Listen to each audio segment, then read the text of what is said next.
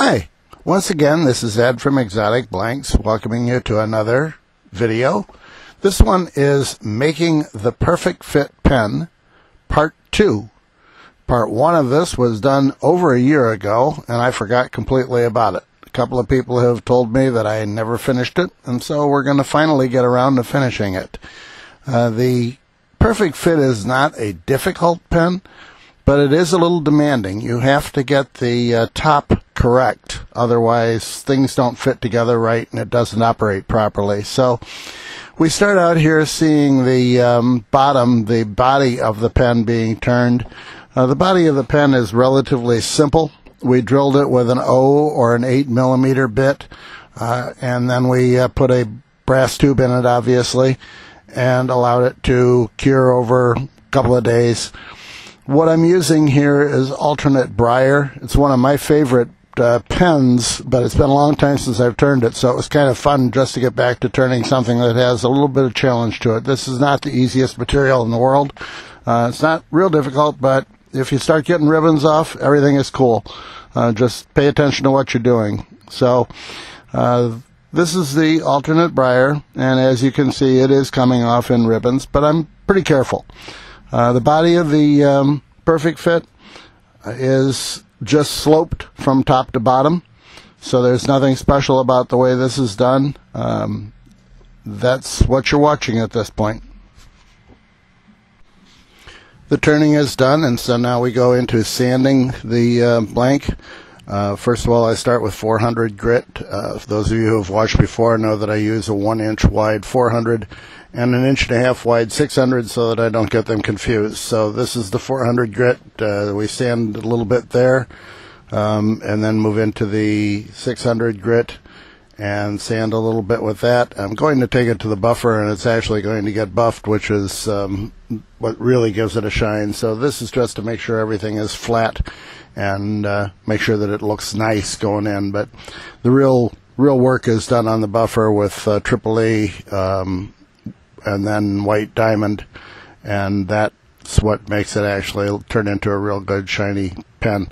You'll see the pen later. Um, it's it it turned out to be a nice looking nice looking pen. That's the end of the uh, body. The body is ready to uh, take over and buff. Now we're going to move into the cap or the clip end of the pen.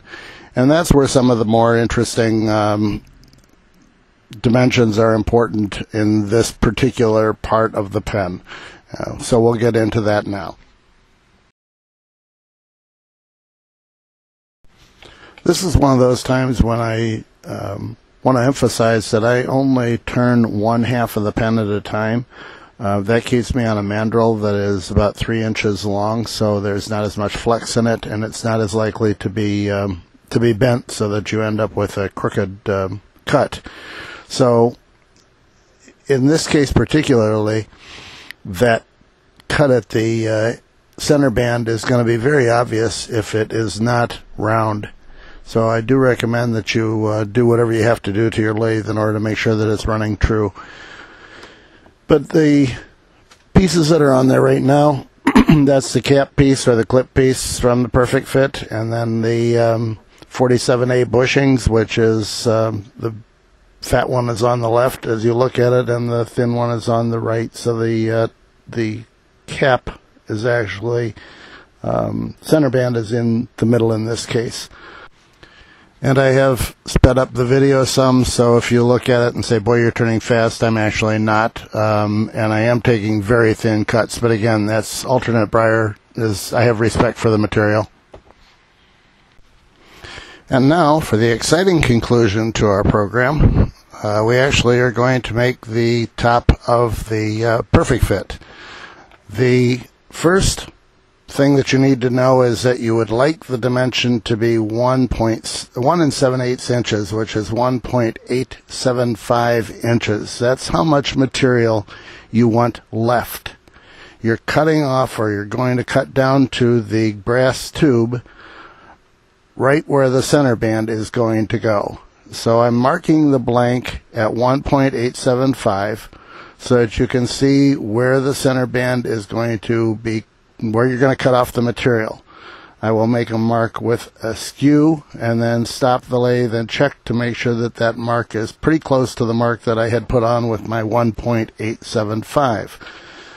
Once I'm comfortable with where the amount should be taken off, I start with a parting tool and part right down to the brass tube.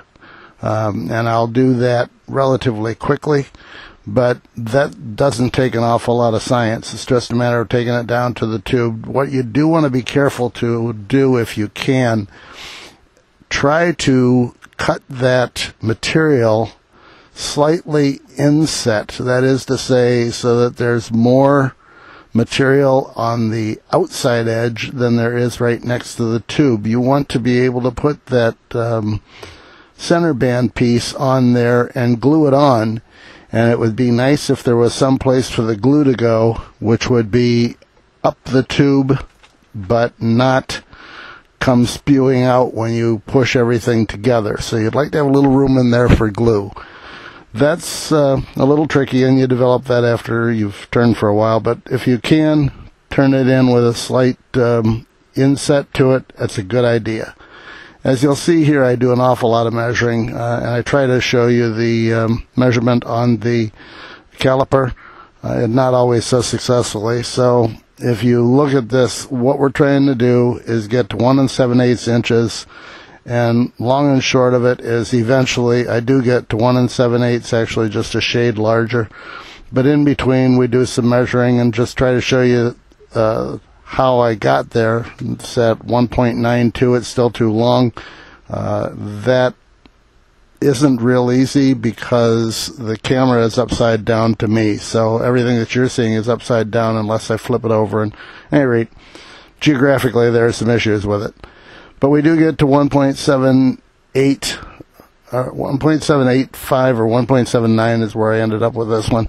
Close enough for government work and I think you'll see that it pen turns out really nice. So that's um, that's what we're attempting to do here. Now, once you've gotten down to the brass, take off some brass. You're going to be putting a spacer. There's an extra 47A gives you an extra spacer that you can put over the top of that brass tube so that you can check the um, diameter, the outside diameter of the top of your pen.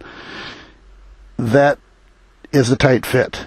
So if you are don't take off any of the brass of the tube, your extra piece is going to go on the brass tube with some effort, and boy, it really takes effort to get it off the brass tube. So try to be a little bit, um, plan ahead a little bit here and, and take off some brass. Don't worry about it. You're not going to do any damage. Ultimately, you're just going to put your uh, center band over that anyway, and you're going to glue the center band in place so everything's going to be um, reinforced without any problem. That's what happened there, and uh, then we'll move on to buffing it, and then there will be another um, video which will be the assembly of the pen itself.